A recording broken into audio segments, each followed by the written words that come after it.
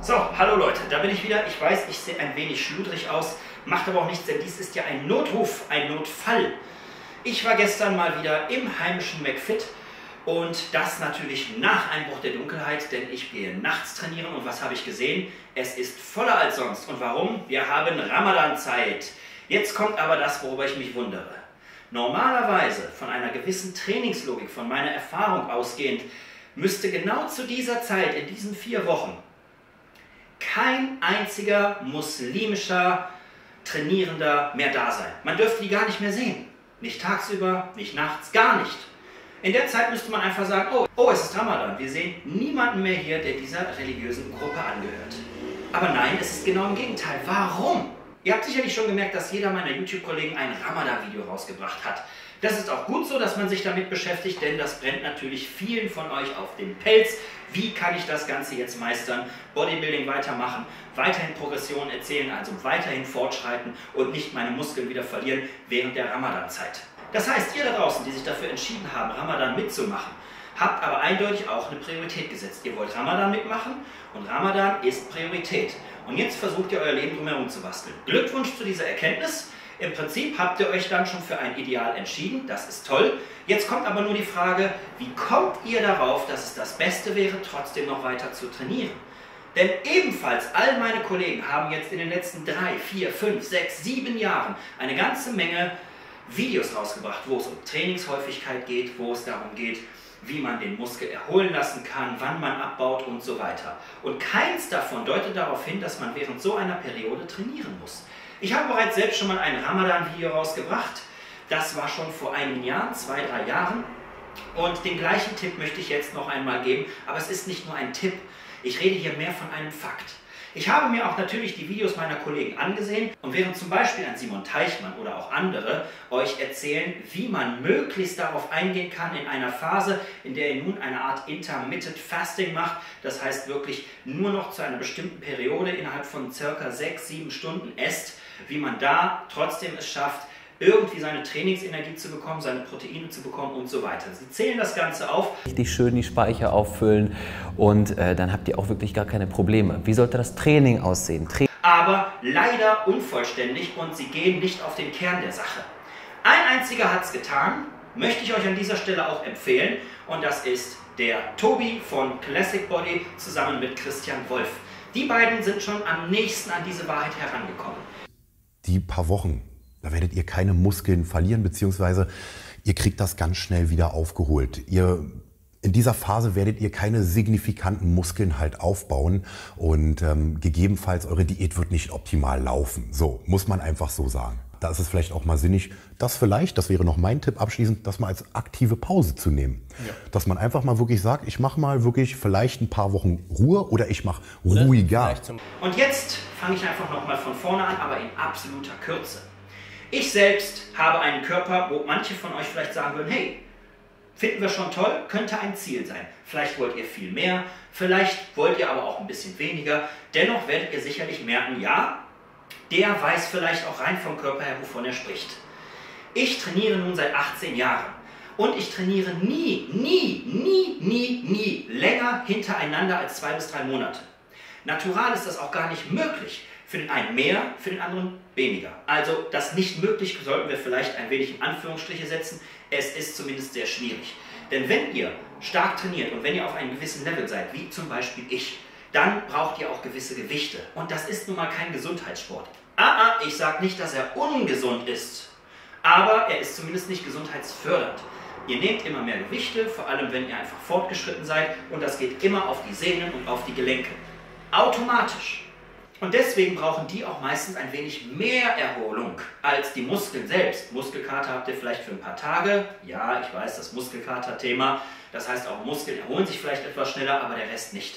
Ihr kommt relativ schnell in ein Übertraining, wenn ihr einfach zu viel trainiert.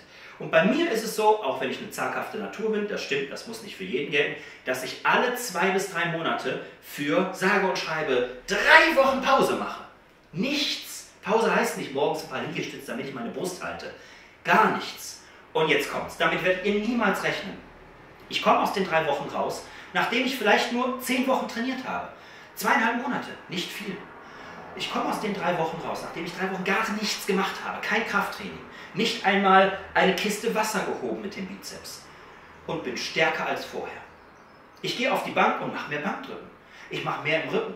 Ich bin erholter und der Pump ist besser. Mein Körper ist einfach geheilt und geht mit voller Power wieder rein. Ich habe drei Wochen gegessen und alles, was ich zu mir genommen habe, alles, habe ich das Gefühl, kommt in dem Training raus. Alles gespart. Ich habe Armeen gesammelt. Armeen von Aminosäuren, von Kohlenhydraten und sonst was. Und die können endlich wieder raus beim Training. Es funktioniert. Und jetzt, jetzt, na, nur das als Beispiel. Ich mache kein Ramadan. Ich habe kein Ideal im Hintergrund, außer ich mache eine Pause. Jetzt seid ihr da draußen und habt etwas Wunderschönes. Ihr frönt eure Religion. Zusammen mit euren Familienangehörigen, mit Freunden. Das heißt, es ist ja auch ein Fest. Es ist doch nicht, dass ihr sagt, scheiße, jetzt ist Ramadan, wir leiden jetzt schon wieder. Mist, was mache ich denn jetzt? Nein, ihr sollt es ja mögen.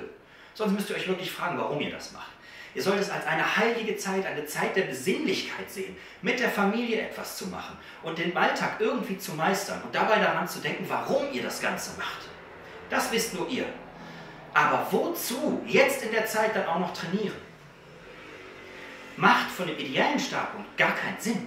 Woran meine Kollegen teilweise weniger gedacht haben, ist, und was Tobi und Christian nur ein wenig erwähnt haben, das Problem bei den meisten ist, dass ihr natürlich irgendwie es meistern könnt, mit so einer Art Intermittent Fasting das Training einzubauen. Aber viel fortschreiten werdet ihr in der Zeit wahrscheinlich nicht. Und das größte Problem dabei ist, dass die meisten von euch sich vorher so nicht ernährt haben. Ihr habt euch wahrscheinlich alle drei, vier Stunden eine Mahlzeit reingeschoben. Ihr konntet durchgehend trinken, Protein nehmen und jetzt von heute auf morgen müsst ihr es anders machen.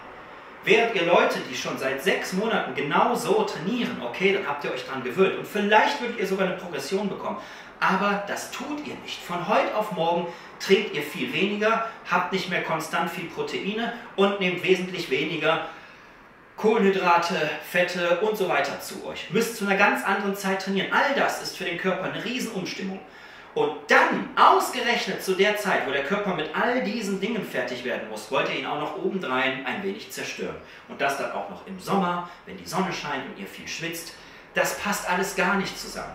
Und ich, obwohl ich das alles nicht machen muss und nicht beachten muss, mache auch so meine Trainingspause. Kombinieren wir doch jetzt mal beides. Ihr habt vorher wahrscheinlich zwei, drei, vier, fünf, sechs Monate hintereinander trainiert. So wie ich euch kenne, wahrscheinlich auch schon zwei Jahre hintereinander, ohne eine Pause zu machen. Weil ihr könnt ja Muskeln verlieren. Und jetzt kommt Ramadan. Dann nutzt die Zeit doch bitte. Und jetzt meinetwegen, selbst wenn ihr sie nicht nutzen wollt, um es besinnlich zu genießen, aber nutzt sie, damit der Körper sich einfach erholt. Und nicht, wenn er auf dem Boden liegt, weil er eh schon weniger essen, weniger trinken kann und sich komplett umstellen muss, dann auch noch drauf zu treten, indem ihr trainiert. Bringt nun mal nichts. Und wenn ihr wirklich es in dem Sport zu was bringen wollt, und deswegen entschuldige ich mich, falls ihr diejenigen seid, die einfach nur so ein bisschen rumspielen wollen, also an die Maschinen wollen, sich einfach bewegen wollen und das Ganze den Spaß macht, egal ob die jetzt Muskeln dazu gewinnen, kräftiger werden oder nicht, es macht einfach Spaß da zu sein, hey, dann gilt das nicht für euch. Habt euren Spaß, geht nachts dorthin, kloppt euch mit den Maschinen, ist alles okay. Wollt ihr aber, dass euer Körper in irgendeiner Form besser wird, mehr Kondition, weniger Fett, mehr Kraft, mehr Muskelmasse, was auch immer, dann lasst es in der Zeit. Das ist die generelle Lösung. Generell. Hier gibt es keine Meinung, ja, aber ich kann vielleicht besser damit oder so. Nein, lasst es in der Zeit. Normalerweise als Personal Trainer, um es nochmal zu wiederholen, empfehle ich euch sowieso nach drei Monaten, macht eine Pause von zwei, drei Wochen und ihr werdet stärker rauskommen. Und jetzt habt ihr auch noch Ramadan, perfekt. Da würde ich doch denken, wow, passt doch beides super zusammen, ich muss doch eh eine Pause machen. Und dann könnt ihr auch einfach normal feiern und denkt nicht immer, oh, jetzt muss ich wieder meine Sachen packen, ich muss jetzt später trainieren. Oh mein Gott, habt ihr denn nichts mitgenommen aus den Lehren von YouTube, von Büchern, von sonst was? Also, insofern, ihr merkt, ich fahre zwar ein bisschen aus, aber das ist ja trotzdem noch ein Tipp für euch. Ich beleidige euch nicht, ganz im Gegenteil. Ich will euch helfen. Genauso wie den Leuten dort im Studio. Ich habe mit so vielen gestern gesprochen, dass ich gar nicht trainieren konnte, weil ich denen gesagt habe, Leute, genießt es. Und es hat ja auch nichts mit Respekt oder Nicht-Respekt der Religion zu tun, sonst würde ich dieses Video nicht machen. Die meisten meiner Freunde sind nun mal dieser Religion angehörig und mit denen rede ich auch darüber. Und sonst hätte ich nicht schon zweimal ein Video dazu gemacht. Also Leute, tut euch den Gefallen. Tut eurer Religion den Gefallen, tut eurem Körper den Gefallen, tut eurem Fortschritt den Gefallen und lasst das Training in der Zeit einfach weg und kommt stärker wieder daraus. So, mehr ist zu dem Thema Ramadan nicht zu sagen. Und kommt mir nicht mit, ja, aber der hat in dem Video was anderes gesagt und der hat Tipps gegeben oder sonst was. Die haben all diese Faktoren vergessen und sonst haben sie einfach keine Ahnung. Punkt aus. Bei YouTube gibt es kaum Personal Trainer. Ich bin einer davon. Macht was draus.